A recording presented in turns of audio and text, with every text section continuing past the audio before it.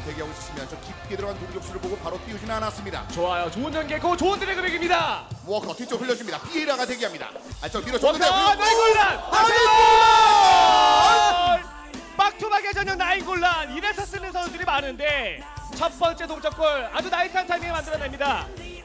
그런 말을 했을 정도로 이 팀원들의 이런 멘토적인 역할이 진짜 중요하거든요. 마샬! 마샬! 아니네요. 그러니까요. 내가 무슨 슈팅에 이런 얘기를 하니까 슛이었어요. 약간 단조로운 패턴이 나오는 건 사실입니다. 그렇습니다. 머릿속에 있는 자신의 진영의 그림을 망가뜨리고 싶지 않았던 것 같습니다. 오. 근데 이번 패스는 좋았습니다. 티에리 앙리. 과감한 패스. 아우! 원창현 선수 도 고민을 하고 있었거든요. 공격수를 수비 패스 차단해 줄 것이냐 이런 고민을 했었던 것 같은데 강성호 선수의 과감한 슈팅이 득점까지 만들어냈어요.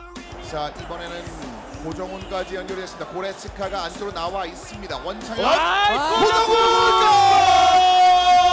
이번엔 적토마의 발이 대답을 합니다. 네, 이번 프리시즌 고정훈을 가장 사랑하는 선수는 원창현입니다.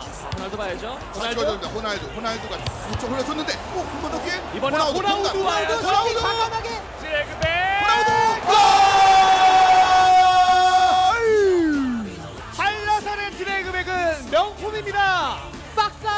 이런 drag back 심리전이 송세훈 선수가 몇 번 보여줬었던 건데 원창현 선수 알면서도 이번 거는 맞기에 좀 버거웠죠. 아, 충분하지 않은 상황이었거든요. 네, 여기서 한번 버텨주고 cut back을 한다든지 리턴 패스 네. 나와야 됩니다.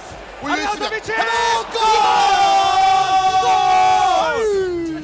않고 손흥민 선수가 반박자 빠른 터치를 보여주면서 올려줬던 거. 이게 아르나토비치가 상대방 말디니보다 헤딩 타점을 빨리 가져갈 수 있었던 이유입니다.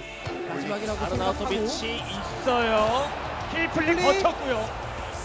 그런 버텼습니다. 여기 쏟아 질라탄! 질라탄! 질라탄! 동점골의 이후 슬라탄 이브라모비치! 네 좋은 기회. 호나 호나우두. 호나우두 아래쪽에 호나우드입니다. 호나우드 힐플링 네, 호나우드